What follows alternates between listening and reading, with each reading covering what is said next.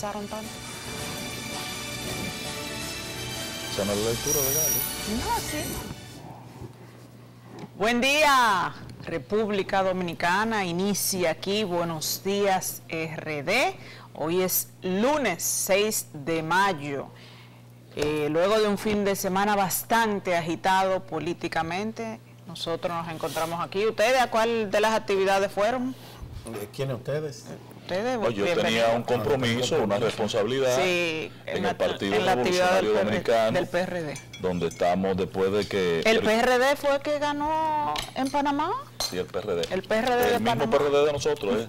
El PRD, ese PRD de Panamá. Es el de Martín bueno, tú lo el de conoces. Arnulfo. Tú lo conoces, el PRD de Panamá. Lo fundó Peña Gómez. El, Sí, bajo la el influencia de oficialismo quedó en un el lejano, ter- en un lejano tercer sí. lugar. Y, y, y, El de y- Martín. El, el Y los llevó a al, poder. Y de Y de Martín. Martín Torrijos. y los dos partidos opositores. Lo fundó pues, Peña Gómez en Panamá. Ese PRD. Atención país. Tenía un- unos varios periodos fuera. Después de Mireya Moscoso no había vuelto. fracaso.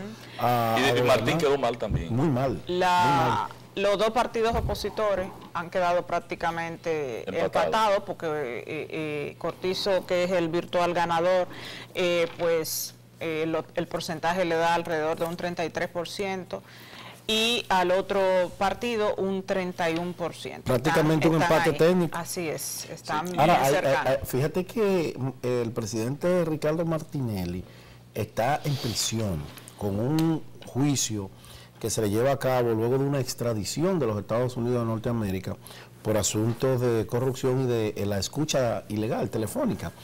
Y el partido del por poco vuelve al poder, con una diferencia de dos puntos. El que quedó en segundo lugar El partido pertenece, sí, ese es el la partido Ricardo cercanía, la cercanía entre, qué- entre qué ambos, paradoja. Rómulo Rose se llama Rose. eh, el otro candidato del partido opositor.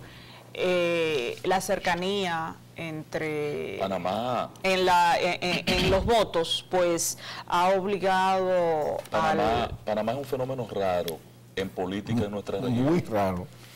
Panamá es un fenómeno parecido a Santiago de los Caballeros. Pa- Panamá en Santiago no son repite- elitistas. no repiten los candidatos, no repiten los partidos. No. No hay doble vuelta porque no hay reelección no tienen- y nadie modifica la no constitución. tiene, no porque no, no es que no la modifican, es que la población no vota por la reelección. No, es que nunca se ha presentado. No, ni- es que no le van a Hay no, una no hay, no espacio para la para, para ser reelecto. Son rígidos Por- al, al- por- al por su medir al medir a sus Sí, respetan la electores. constitución. Fíjate que, que Panamá, y es un, un ejemplo que nosotros como dominicanos tenemos que tomar en cuenta. No, no, no hay que Si queremos- ejemplo. Esa sociedad responde a un modelo que ellos tienen. Ellos tienen un modelo que prácticamente tiene unos 25 años que salieron de, Mira. del dominio colonial de los Estados ¿Tú Unidos. crees posible que aquí se genere estabilidad política con un presidente de un 33%? Eh, no, No, no la pero es que es muy, es muy O sea, es, tú verás en Panamá en Pero él está, Rómulo está diciendo que no va a reconocer el triunfo Dios de mío, Cortizo hasta tanto no se cuenten todas las actas. No, Por es la- lógico, la- es y la cercanía que hay, cercanía. exactamente, sí. Pero lo que te quiero decir es, oye, oye, no hay segunda vuelta. ¿Por qué? Porque esa sociedad todavía no necesita una segunda vuelta para definir una clara mayoría. Exacto. Así es. Ve, Porque aquí lo ideal, dos, pa- dos, dos candidatos con un 32% es que vayan a una segunda vuelta. Así es. Ahora, esa sociedad no ha llegado a ese punto No, de demanda le falta mucho. democrática. Tú ves, nosotros ya lo vivimos, nosotros somos la democracia más vieja De América Latina, claro, por eso te digo que Panamá, en el año 99 fue que se traspasó el tema del canal. Y hasta tanto, en Panamá no existían los presidentes, gobernaban los norteamericanos. Incluso la sociedad panameña estaba compuesta por un 70% Fue como de norteamericanos. 96, 99. 98 por ahí, No, que 99. El Yo llegué- expresidente- No, fue en el 99 que Sí, el Moscoso lo 99. entregó, que recibió del La presidente recibió del, de- del presidente eh, que... Bush. No, No, no, Reagan. No, no, No, tampoco, no, Reagan tampoco no. Clinton. Reagan. No, no, no, no. no. No, Fue el fue 99. el presidente, era expresidente, era un expresidente. Jimmy Carter. Eh, sí. Jimmy Carter fue que, que le Él hizo la simbología. Exactamente, pero él, él estuvo ahí Pero quien presente. gobernaba era Clinton, Sí, creo pero que él era. estaba ahí presente. Sí, yo lo o sea, Él fue acuérdate. que hizo la entrega formal en el Recuerden que yo comencé a, a ir a Panamá con fines de establecerme allá comercialmente. ¿Día qué? ¿Día qué? A establecerme comercialmente. No, no, a vender champú. Sí, Eso comercialmente. exactamente, exactamente. Comercialmente. Comercialmente cualquiera cree. Ajá. Eso Bueno, fue en el gobierno de, de, de Hipólito Pero yo Mejía que tuvo que irse del país, pero Sí, tú pero yo inicié en el te fuiste primero 98, para otro lado. 99. Gobierno exitosísimo. Recuerda que yo me involucré en el tema de, de los cosméticos en el año 90, y- 2007. No, 97. Primer gobierno de Leonel Fernández, comencé a trabajar con Carlos Silvestre eh, en HP Cosmetics eh, y, y- y viajaba mucho a la región, pues yo era el vendedor internacional de Don Carlos. Y luego montamos varias sucursales y yo dije, no, yo me quedo en Panamá cuando montemos Panamá. Siempre me, me atrajo mucho la economía panameña y yo fui testigo de ese proceso de traspaso de canal y fui parte del proceso de cómo esa sociedad y ese país se quedó prácticamente solo después de la entrega de ese canal que los norteamericanos abandonan a Panamá. Sí, Esas zonas factoría. están así, abandonadas, Todavía, que- solas. se han no hay- no construido, se han nadie. reconstruido muchas, ¿no? Ya se han reconstruido muchas, han hecho unas áreas turísticas maravillosas. La zona de Albrook, que era la zona donde vivían los guardias Los norteamericanos. Que bueno, entonces Panamá, eh, si tú cuentas del año 2000 al 2019, ¿cuánto tenemos? 30 años. Aproximadamente 30 años. Y ellos establecieron su constitución, establecieron sus reglas del juego y se la han respetado. Y Panamá es uno de los países que más ha crecido en la región. Eh, es el segundo. No, no, y se ve con los ojos de la cara. Quienes conocimos Panamá en los años 90 y vamos hoy a Panamá, ese entorno al malecón, malecón feísimo, una playa sola. Eh, Esa es la avenida Paitilla. Eh, No, yo el Coso que- es otra cosa, es una isla artificial que Sí. se hizo allá abajo. Yo quiero que ustedes vean lo que es, eso parece la entrada de Miami, esa zona o la Sí, entrada de la capital. americana, con sí. Martinelli creció bastante. Y con el Se puente, desarrolló mucho. eh, eh, eh, Y con el puente re- que construyó de Brecht, Sí, claro. tú, lo, tú lo viste, eh, Claro. el puente, un puente sobre el- el- la playa que cruza, que es como un puente que hay un símil para la República Dominicana en pauta por la misma empresa Odebrecht, que iría desde la salida de la Luperón aquí en la con 30 de mayo. Con 30 de mayo, allá donde La está- salida de la Luperón, ese Ah. puente que es un arrabal ahora mismo ahí, Ay, con la venta de La pulga. de la pulga y de las pacas. Cruzar desde ahí hasta el otro lado de la fuerza de la Marina de Guerra. ¿Cómo se llama San? Susi, la zona de San Susi. Sí, pero la avenida que España, esa es la España. la avenida esa, España. conectar la avenida España con la Luperón. Que tú recuerdas que yo le preguntaba al Es alcalde un que por puente qué no le sacaban ellos más Sobre el mar. La avenida Que la España está- Panamá tiene una. Está llena No, no, está de, de bares y, y- y de, y de estaciones de, de combustible donde la gente va a divertirse. Pero eso está bien, porque esas zonas son para eso, pero se está desarrollando un nivel de construcción importante por la vista al mar. Hay un Así desarrollo es, inmobiliario. Mira, no todos eh, los países yo- tienen la suerte de contar con Medio, un medio Venezuela ha comprado esa zona. Sí, mira, yo, yo quiero solamente, de, con relación al acto de ayer, quiero saludar, felicitar el gran esfuerzo que hizo el equipo del expresidente Leonel Fernández, encabezado por Radamés Jiménez Peña, Bauta Roja, Nicolás Nicolás, Calderón, nuestro buen amigo César Fernández, Franklin Rodríguez, que son gente que yo le conozco y ustedes le conocen, que son trabajadores incansables.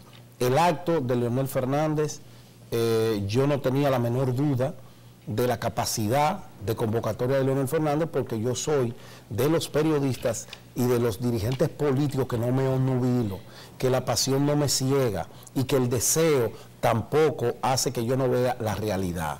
Leonel Fernández, aunque muchos se nieguen a creerlo, muchos se nieguen a aceptarlo, es un líder activo, un líder que está muy vivo y un líder que tiene la capacidad de decidir cualquier cosa que pase en la República Dominicana.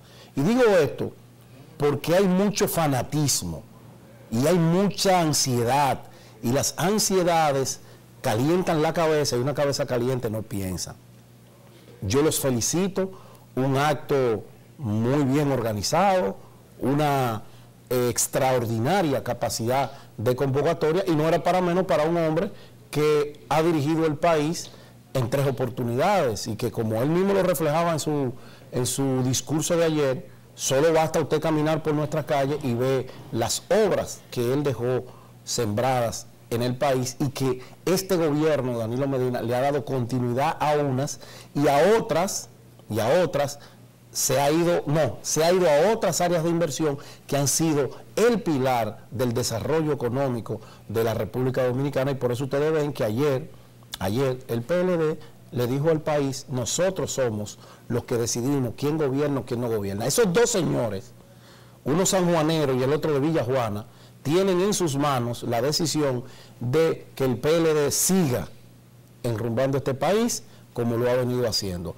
No le quepa la menor duda, el PLD demostró ayer que es una fuerza política invencible. Bueno, tú hablabas del PLD, el PLD tuvo ayer eh, seis actividades eh, seis senadores hicieron actividades en sus provincias, incluyendo San Juan de la Maguana, Pedernales, entre otras, en apoyo a la gestión de gobierno del presidente Danilo Medina y en apoyo a la reelección, porque no nos vamos a llamar engaño. También hubo una actividad multitudinaria en Nueva York, que aunque no terminó como como debió terminar. Vi ahí hasta gente del PR, vi ahí hasta gente de, del PRM protestando ahí afuera, no sé qué, buscaban. También, también vi a un joven que le dieron, que le dieron unos golpes a un joven. y entraron dentro de la instalación. Ellos podían hacer eso. Ellos, el joven, el joven, tú lo puedes hacer en la calle, pero no en un área. El joven, el joven eh, se apareció ahí con una bandera, bueno, y le entraron pues eh, dicen los que estaban ahí que le entraron que le entraron a la, seguridad le, entró, a golpe. Ah, vi gente con gorra del PRM también. Afuera exactamente afuera, estaba afuera. exacto. Protestando como debe ser. Pero el joven el joven también el joven también el, joven, estaba era con una bandera y, parece que la, no no alguna gente pues no. Él y dos señoras que hacen lo mismo cada vez entraron al local a provocar, o sea, una cosa insólita. Tú no puedes ir a hacer una provocación, está bien que tú en la calle, sí, la, es así, lo que tú quieras, pero no entrar dentro. Ya la policía está haciendo una investigación, la policía Es lamentable que esto Y él puede terminar preso, además de agorpeado. él puede terminar preso y las otras dos viejas también. Alteración del orden público. Porque no, porque entraron dentro a la de actividad un privada. recinto donde alguien tiene una actividad privada. Ustedes verán lío. Eh, yo me sumo. No es aquí que estamos. Yo me sumo a las palabras de, Pedro, esta actividad del día de ayer, una actividad multitudinaria. Eh, ha sido un reto, fue, era un reto para la gente, el grupo de Leonel Fernández, mis felicitaciones para todos los que trabajaron allí. Eh, una entrada hizo Leonel Fernández, como nos tienen acostumbrado, una entrada, una entrada majestuosa. El acto en sí, eh, bueno, pues un espectáculo como todo el mundo sabe, que lo que se esperaba, ¿verdad? Además del discurso que debió ser lo principal del presidente Leonel Fernández, un discurso corto, eh, la gente parece que esperaba, esperaba más, un discurso bastante unificador, un discurso que habló de, de, perdón, un discurso donde Leonel Fernández dijo que no era eh, y que nunca fue un presidente de grupos ni de, ni de sectores, y fue un discurso eh, bastante unificador, vamos a decir, dentro del PLD. ¿Qué es lo que hace falta ahora mismo? No podemos estar echándole leña al fuego. Allí también habló del respeto a la Constitución, como es normal. Es el discurso que viene el presidente eh, Fernández. Eh, que viene trayendo consigo el respeto a la constitución y en eso por lo menos el presidente Fernández ha sido coherente. No me gustó eh, cuando el presidente Fernández terminó su discurso, pues que como que se quedó como, como en el aire. Yo esperaba ver los saludos, los aplausos, porque el discurso debió ser lo primero. y, eh, el, inmediatamente terminó el discurso, pues lo que salió fue eh, el joven este que... El alfa. Exactamente, que como todo un, protagonista, esa parte no me gustó, pero el acto en sí, eh, todo estuvo bien montado, bien organizado, podemos, ahí están las fotos, no podemos ser mezquinos, el acto estaba lleno, eso estaba lleno de arriba abajo y no es para menos, Leonel Fernández ha sido presidente de la República Dominicana tres veces y es un líder a carta, a cabal, eso no está en discusión. El PLD ayer mostró sus músculos, no solamente en el Centro Olímpico, sino en las otras actividades que, se que se llevaron a cabo. Y felicitar a mi querido amigo, eh, secretario aún de la Juventud del Partido de la Liberación Dominicana, Franklin Rodríguez, quien mantiene, quien ha creado un fuerte movimiento que se llama Impulsa. Es un movimiento no solo... ¿Es de Franklin Sí, es un movimiento, se destacó, se destacó bastante este movimiento en, el, en esta actividad. Y pese a que lo iniciaron un grupo de jóvenes, pues no solamente jóvenes eh, forman parte de este movimiento ya y han sido juramentados en todo el país eh, personas en este movimiento y también en los Estados Unidos y a final de mes pues se trasladan a Europa, específicamente a Madrid, donde van a juramentar personas en varias ciudades de Madrid. Mis felicitaciones para todo el equipo de Impulsa y para todo el equipo que forma parte de eh, el proyecto Leonel Fernández 2020. Saludo a Franklin Rodríguez, amigo nuestro. No sabía de verdad que Franklin era que estaba detrás de ese movimiento y es un movimiento que ha hecho una presencia extraordinaria en las actividades del expresidente Leonel Fernández. verdad, mis felicitaciones. Franklin es un tipo incansable en el trabajo. yo voy a, yo voy a demostrar mañana que, ese, acto de Leonel Fernández fue un fracaso. Político, político pero ¿cómo será que lo va a demostrar? En la convocatoria. Pero mire, mire cómo lo están mirando, lo, lo, mire cómo lo miran los, los. Grábense ustedes mismos, que sea hoy. No, no, no, ellos no quieren que sea hoy, ellos le están diciendo que, que, que, le baje. Pero, pero por Dios. No, no puedo. Pues mañana vamos a analizar Galo. No, no, me toma un tiempecito, no puedo. Eh, yo le voy a pedir que vayamos a la... Yo voy a demostrar que es un acto, un fracaso en la convocatoria. Gran organización, ¿eh? Mañana, mañana Galo. Una, Galo dijo que el 68% de la población no quiere reelección. No, no, pero eh, eh, Julio Martínez Pozo leyó lo que le dio la gana hoy, entonces yo puedo leer también lo que me da la gana. también dice que el 55% de la población del PLD quiere, si quiere que modifique la Constitución. Fue un fracaso político. Fue un fracaso de convocatoria. Aquí dijeron 200 mil, ahí no había 20. Okay. ¿A dónde? Ahí no había 20. Yo estaba ahí, ¿eh? Ahí no había 20. Usted pasó por el frente, dos, Ángel. Dos, tres. No habían 20. Un fracaso familiar. Ah, porque Margarita no fue. No, no sé, un fracaso familiar. No, familiar no. Y después. Ella, ella, ella le envió un mensaje y, y, lo, y lo, dijo Ángela Costa. Déjalo, déjalo, que se manche. Y después, y después. Déjalo. Y después. Déjale que, que se haga el jaraquín. Y estaba y después, el hijo de Leonel Fernández. Y después, Pero no le conteste. Y después. Es para que no se siga hundiendo. Porque concretó, concretó la división del PLD. Busquen la clausura de ese acto, cómo concluye Leonel Fernández. Vamos a hacer la pausa, patrón, que yo quiero referirme a lo que sí fue importante en este país ayer. ¡Ay! Ya volvemos. Señor Dios mío. Lo mucho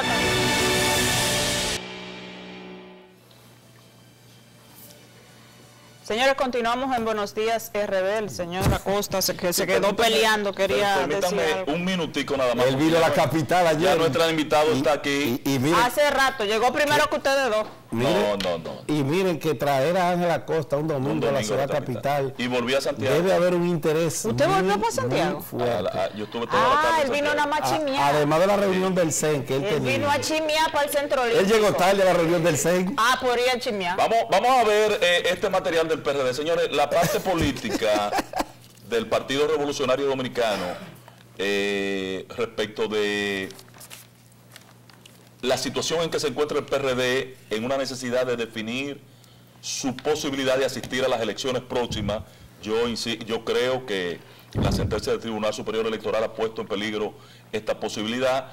Eh, recuerden que el miércoles pasado reunimos la comisión de política del partido convocó a una comisión política de nuevo para conocer la oferta de modificación, la propuesta de modificación estatutaria. Se conoció ayer, ya estaba colgado en la, en la página del partido la modificación, pueden entrar ustedes y leerla. Eh, se aprobó en, el en la comisión política el informe de la comisión, se reunió el CEN, aprobó esta reforma y para el próximo domingo está convocada de nuevo la reunión, la convención, aquella que fue la primera que anuló el Tribunal Superior Electoral, porque ahora el tribunal lo que fue cambiar el, discurso anuló la comisión política convocaba a su vez a la comisión, al, al CEN. El próximo domingo de nuevo estaremos reunidos, varios aspectos importantes se trataron allí, pero yo prefiero... Pero Ángel, si el domingo se cogen ya la, la, no, las no, se va a aprobar el estatuto. Ah, okay, primero. Habrá que convocar de nuevo por de lo nuevo. menos a dos convenciones más. Wow. Una para escoger las autoridades. Mucho tiempo, Ángel. No, no, eso será una semana después. Porque no, no sí, es que no hay tiempo. es todo uno detrás de otro. Sí. Y después de eso, a pesar de que se formó una comisión para preparar un esquema de alianzas y también se formó una comisión para escoger eh, precandidatos, eh, okay. internos del partido, tengo el, la convicción de que va a haber que convocar a un nuevo, a una nueva reunión de la convencional para poder aprobar esas alianzas que se, que se formulen. Eh, yo creo que está en un paso correcto. Eh, Miguel ayer demostró un gran liderazgo y mu mucha fortaleza y, y, y, le vi como un verdadero estadista ayer en el frente ¿Tú, de, tú de la comisión. ¿Tú entiendes que en la encuesta Gallup de hoy, el PRD sale con un 4 punto y algo por ciento. ¿Tú crees que esa baja ha sido fruto de todas estas diatribas y la falta de tiempo de no, a la organización? En las encuestas sigue midiendo, eh, Pedro, más o menos establemente un 5% del PRD. 5, sí. En todas las encuestas. Sin embargo, yo tengo la percepción, por lo que vi ayer ahí, por lo que he estado viendo, el PRD tiene ya que tener dos cifras en sus números eh, electorales. Y si yo fuera Más Miguel. Vargas, mira, si yo fuera Miguel Vargas, Aún estando atado al gobierno, sí, ¿usted cree? me la jugara, si yo fuera Miguel Vargas, hiciera que el PRD fuera solo a las elecciones. Si no, si no yo fuera crecer. Miguel Vargas. No, porque Si es que si, si Miguel acude a un segundo Con él como candidato. proceso electoral aliado, va a terminar, y lo he dicho varias veces, como el Partido Reformista. Así es. Pero mañana voy a referirme a lo de las alianzas, porque ahí hay otro aspecto. Luce lo que lo que se está montando. Tony fue a ese... No, no fue. No fue a la Un fracaso de Tony. Ahí hay problemas. Un error. Tony no anda bien. Garrafal. No, no, Tony no anda bien. El de fin verdad de que no anda semana, bien. el fin de semana también el, el PRM desde el sábado salió a las calles en el Distrito Nacional y en todas las provincias del país, sus diferentes líderes y autoridades, pues los vi caminando y casa por casa, eh, orientando a la población sobre eh, las ideas eh, y la la, la peligrosidad que ellos dicen que está, cogiendo, está corriendo la democracia de la República Dominicana. ¿Ese era el objetivo fue, cara fue un fin de semana bastante activo en torno a los principales partidos políticos de la República Dominicana. Pero vamos a permitir que sea Eddie que nos lo explique, porque la verdad Sí. es que yo no entendí la convocatoria del cara a cara. Todavía no lo entiendo. Eh, yo la entiendo. Eso es una buena medida. Acción, no le Sí. pueden dejar el escenario solo a los PLDistas. Entonces, yo no estoy diciendo que no, No eh, la acción es buena. Lo que no he entendido es el mensaje. Respeto a la Constitución, Respeto a la entre, esa- Constitución. entre otras cosas. Todo el mundo quiere respetar la Constitución, tú eres que no quiere. Eh, Acuérdate que él es reformista. Sí, él tiene ah, no, reformista, no, entonces eso no. es normal. Ya, ya, vámonos En a la pausa. partido eso es normal. Ya, ya. Eddie Olivares en escena con nosotros tendrá que... Vocero del, del expresidente. Eh, eh, ese me puede convencer a mí de la realidad, de la razón de ser, de por qué este cara a cara del PRM. Ya volvemos.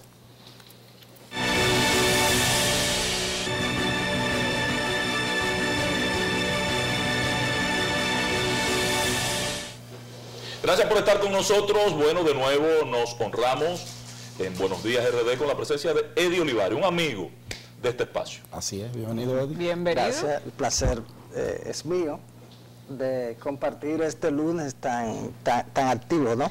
Sí. ¿Cómo le fue el fin de semana? Iniciaron su cara a cara, vimos a Hipólito Mejía por Santiago, su Sí. ciudad natal, y yo Ahí quisiera que usted nos explique eh, en ese cara a cara qué se le decía a la gente, porque Ángel no entiende. No, no he comprendido el mensaje. Sí, bueno, eh, el cara a cara tiene mucho que ver con el proceso que estamos viviendo en relación con la incertidumbre que se ha creado en torno a la reelección presidencial. Y en ese sentido, el PRM eh, visitó los hogares de una cantidad eh, muy significativa de la República Dominicana para explicarle su posición en torno a ese tema. Eh, y eh, ah, también, eh, ¿Se puede saber cuántos hogares abarcaron este fin de semana? todavía no, no se ha contabilizado. Eso, eso habría, que contabilizarlo. Pero eh, fue una actividad masiva que hace recordar los tiempos en, en- en el que... Del viejo PRD. Del glorioso, no, del en viejo. el que del partido del Hacho, del líder Peña. el doctor Y José Francisco, no el doctor José Francisco Peña Gómez, eh, sobre todo en los años eh, 90, 90. eh, nosotros 94. hacíamos cara a cara que eran memorables en todo el territorio nacional. Sí. Yo pienso que es una buena iniciativa del partido y que ha dado buen fruto. El partido ha salido a la calle y, y eso es importante. pero yo entiendo, Eddie. Mira por qué, para que no me tomen a mal y María no se burle de mí. eh, ¿Qué es lo que yo no comprendo? O sea, hay un elemento que es el que genera incertidumbre en el país, un solo elemento. O sea, yo salir a la calle como partido, y lo recoge la encuesta de hoy, que te da un 32% de personas que no saben por quién va a votar, que no tienen decisión. La incertidumbre la genera Danilo Medina, esa es la incertidumbre. Así es. Fuera eso, ¿por qué yo invierto tanto esfuerzo para ir a contrarrestar esto sin tocarlo?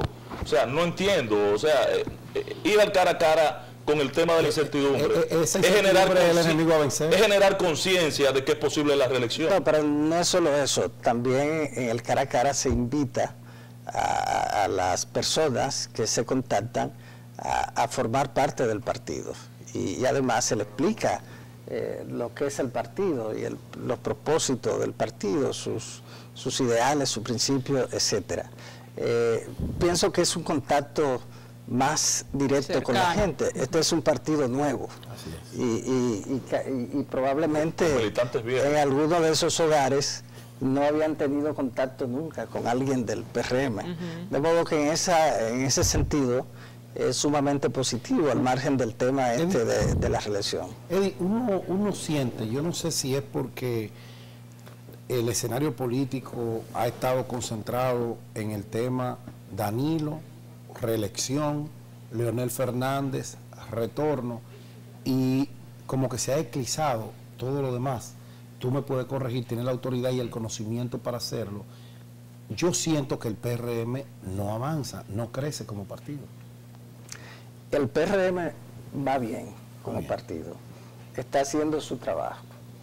Eh, eh, en la República Dominicana no hay absolutamente nada definido para el 20, ni definido como partido, ni definido como candidato. Nadie está... O sea, con Eh. esa popularidad de Luis Abinader, 72, 78 versus, Versus- 9 de Hipólito, que dice Galo, hoy no está definido en el PRM todavía. ¿No? Y le da un 30 en las elecciones generales. No, pero... eh, A Luis, Hoy, que es un A buen, un buen, un buen porcentaje. No, un pues- partido con un 22. No, pero esas son, son percepciones, fantasías y demás. Eh, la realidad es lo que va a ocurrir el 6 de octubre. El 6 de octubre lo que van a votar son personas reales, de carne y hueso.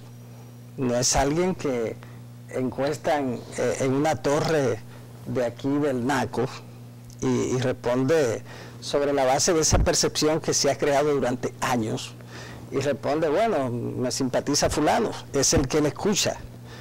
Eh, ese no va a votar ¿Ustedes posiblemente. apuestan a la capacidad de movilización Posible. de la estructura política de ustedes para el 6 de, de octubre? Claro que sí. Eh, posiblemente ese, que es un protagonista de una encuesta, el domingo 6 de octubre no va a salir a, a votar en las elecciones del PRM, que son a través de primarias cerradas. Eh, de seguro que su, su actividad principal de ese domingo probablemente es en una playa o en casa de campo.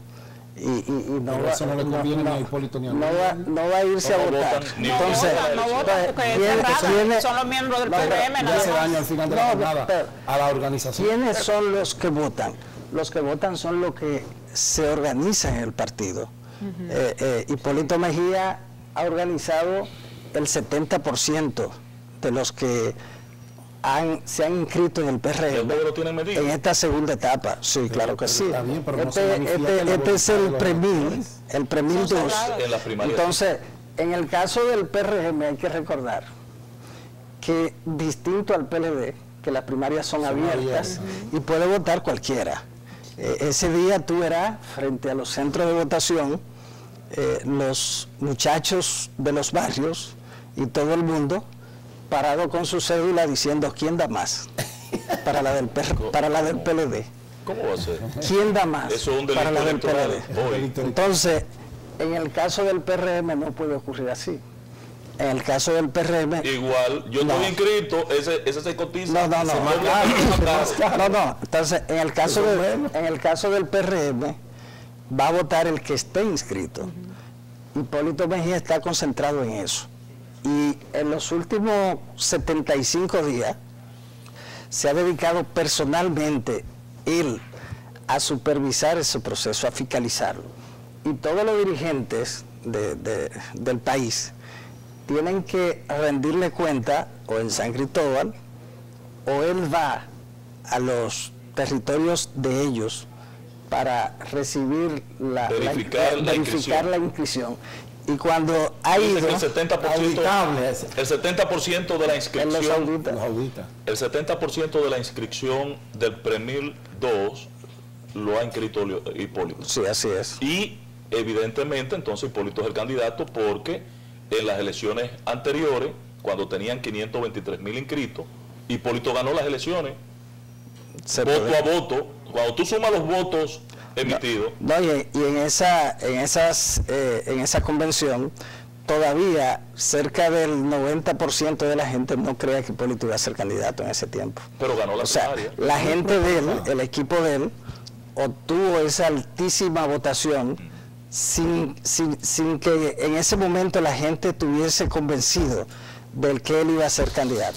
Para nosotros el tema de, de, de encuestas y demás eh, no nos va a distraer. Nosotros estamos 68% concentrados en el trabajo que determina quién va a ganar la primaria. El 68% que dice que, que no quieren que modifiquen la constitución, tampoco en eso creen. No, no, porque nosotros eh, eh, el tema el tema encuesta es un tema que para nosotros en este momento no existe, porque nosotros estamos concentrados en un trabajo real, que es el trabajo de organización interna del ¿Y partido. ustedes no hacen encuestas para medir? Nosotros las hacemos, claro que no sí, nuestras propias encuestas. En las comerciales del Ahora, ¿y no le preocupa al sector del expresidente Hipólito Mejía que es una realidad? O sea, tú no me decías a mí que una persona que dirigió el país, que montó una estructura, que ayudó a muchísima gente dentro y fuera de su partido a salir de la pobreza eh, en mayor o menor proporción, no tenga un arraigo fuerte en la sociedad dominicana. Eso yo nunca me creo esos cuentos. Siempre los expresidentes guardan un- una masa de electores que le agradecen y que le siguen.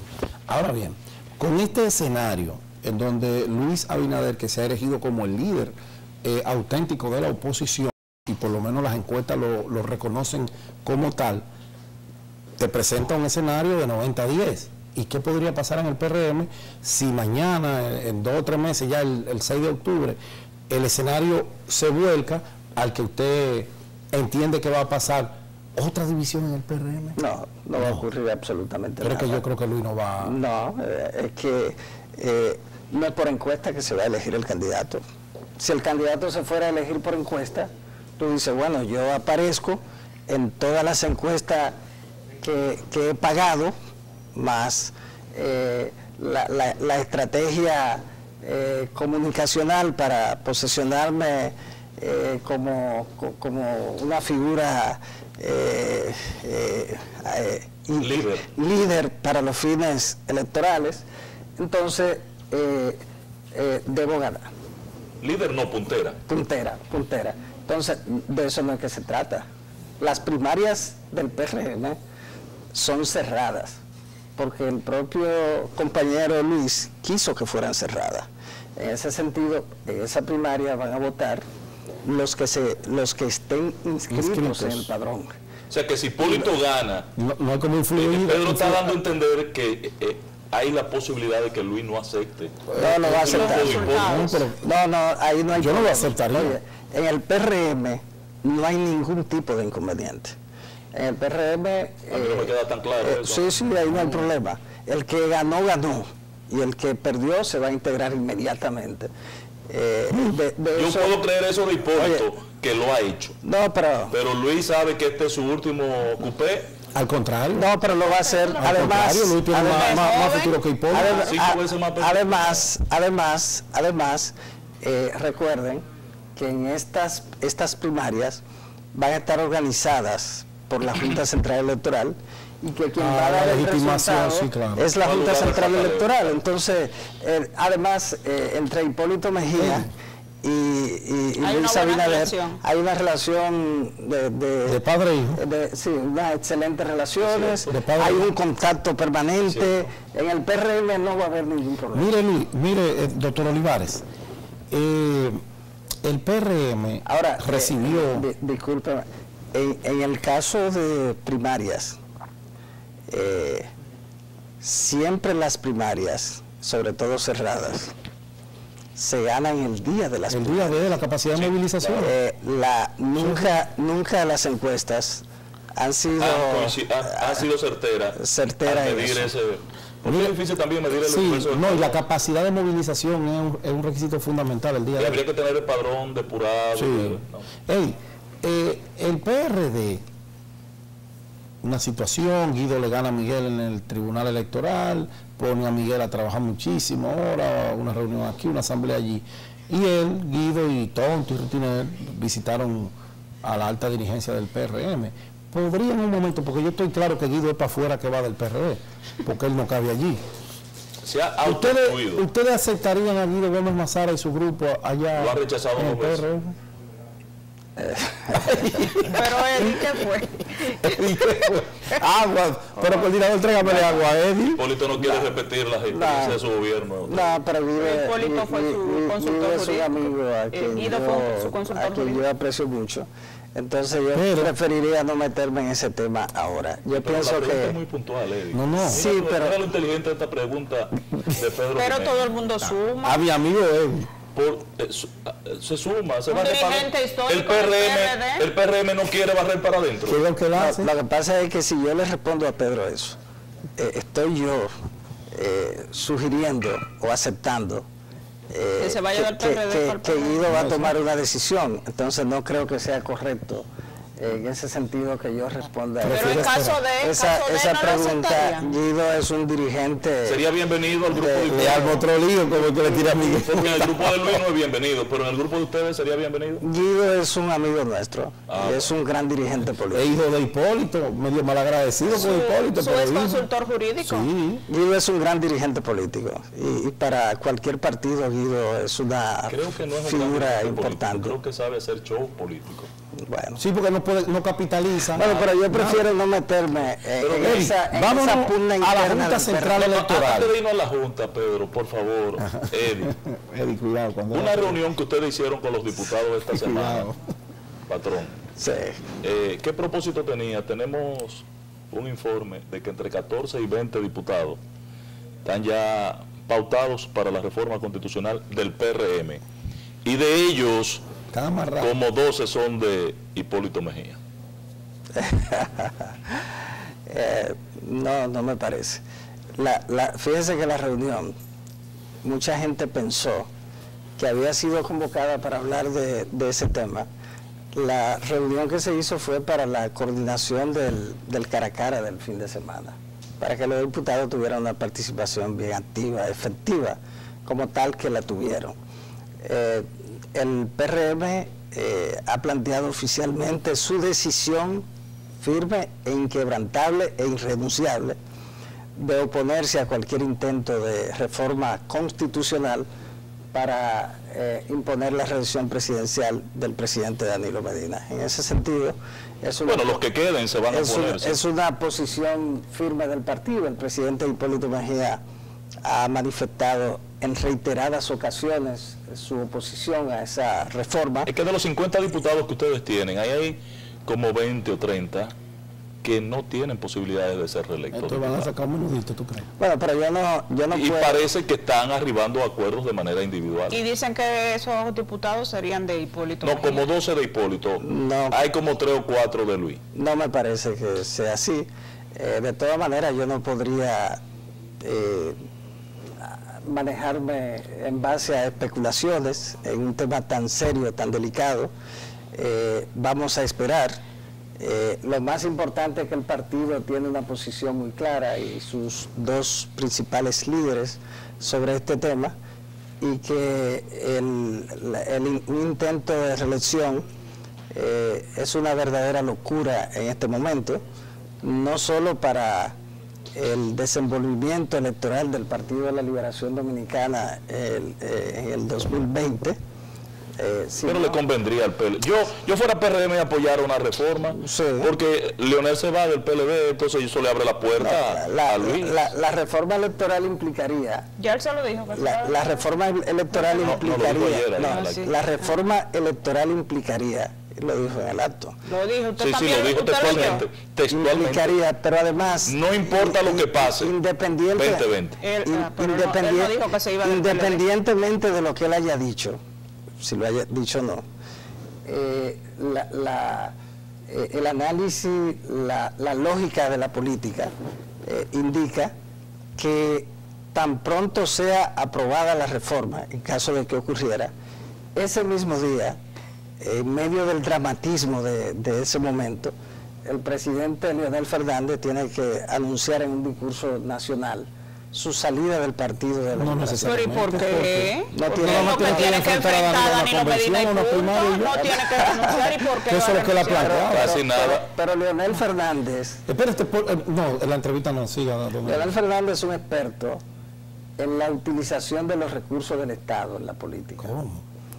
Y, él sabe lo que implica enfrentar en unas primarias internas al, Estado. o sea, que Danilo va a volcar los recursos del Estado para, para, claro, en el poder. Claro que sí. Lo, del Estado, lo de los municipios que él tenga, todos los recursos del mundo para aplastar. Ah, no, pues yo me voy a oponer más que Leonel a la reforma constitucional. pero, va a haber otro, pero va a haber otro déficit fiscal. es que el trabajo de Leonel sería ser candidato para impedir que Danilo Medina gane y el PLD. Su trabajo sería para disminuir las fuerzas. Y si, va, y lo confronta, para dividir y si va y lo confronta en las primarias, entonces no podría ser candidato. No, porque la ley de partidos eh, le prohíbe ser candidato. Lamentablemente para él vino la ley de partidos y entonces la ley de partidos le prohibiría ser candidato. Además, esa lógica Además, él tendría que que lanzara a tiempo su candidatura con el partido nuevo que pero utilizaría. Usted dice que, no hay partido Usted dijo ahorita que usted no, iba a ser... Eh, Mira, en el PLD la suerte está echada. Usted dijo ahorita que usted no iba a hablar en torno a supuestos, entonces ya usted da por hecho de que hay una reelección, de que va a haber una reelección. No, yo no. Porque usted, ah, sí, claro, porque usted dijo que usted no se iba a referir a, su puesto. Todavía no se sabe si Danilo se va a reelegir, entonces ya ustedes están votando a Lionel de, del no, no, no, es un análisis que... que en base a un supuesto. hay una sugerencia sobre, sobre, un, escenario político. eventual, eventual, no quiere decir que se vaya a... ¿no es un poco arriesgado para ustedes, los PRMistas, que quieren ir al poder en el 2020, analizarlo en ese contexto, porque le están diciendo al país, esa gente son invencibles. La única manera que tenemos de derrotarlo es que Leonel se vaya y se divide el PLD. No. ¿Usted no cree que esa puede ser la interpretación que le dé el que nos está mirando en este momento? No, no. Mira, la gente, la gente está harta del PLD. No dicen las encuestas eso. No, pero eh, eh, eso es el producto. ¿Quién es que está en los medios de comunicación? Todos ustedes, mire dónde están ustedes. No, todos no. ¿Quiénes están en los medios de comunicación? Eh, o el gobierno. En un 95%, bueno, 98%. El partido Oye, la oposición está en un 2%, sobre todo en programas así, que pero el 98% del gobierno. ¿Cuál es el partido del que la gente escucha hablar? El PLD. Del mayoritario. El PLD, el partido de gobierno. Eso es normal. Siempre el partido de gobierno aparece arriba. Eso es normal durante una etapa del proceso. Ya cuando entramos, porque es que la gente habla como si ya tuviéramos las elecciones. Casi. Entonces, eh, Eso pasa cuando se son etapas distintas. Es igual. Hay gente que habla ya de que de candidaturas eh, en los partidos políticos sin que todavía ah, se haya llegado a, las primarias. Entonces, son etapas distintas. Yo pienso que lo más importante de este proceso, mira, en este país nada está definido para el 20. Lo que sí está claro es que el 20 va a ser un año de una gran crisis política, Crisis. política profunda. O en los Y partidos. en medio de esa crisis política, en medio de esa crisis política, es muy probable que el país tenga que recurrir a una figura eh, de Alterna- peso, alterna. a un estadista, a un hombre con experiencia, a un hombre que, que- que tenga las condiciones para asumir preso Leonel. No, eh, Hipólito eh, ese Mejía. momento. Hipólito. Recuerden el 86 solamente. Esa cara Hipólito Mejía. Para mí. Puede ser ese Este Eddie es recurso. demasiado inteligente. Claro. Él dura mucho para aparecer, pero cuando aparece... Contundente. Eddie Olivares, el vocero del expresidente Hipólito Mejía, ha estado con nosotros. Muchísimas gracias. Nos vemos mañana a las 8 en punto. Buenos días. RD.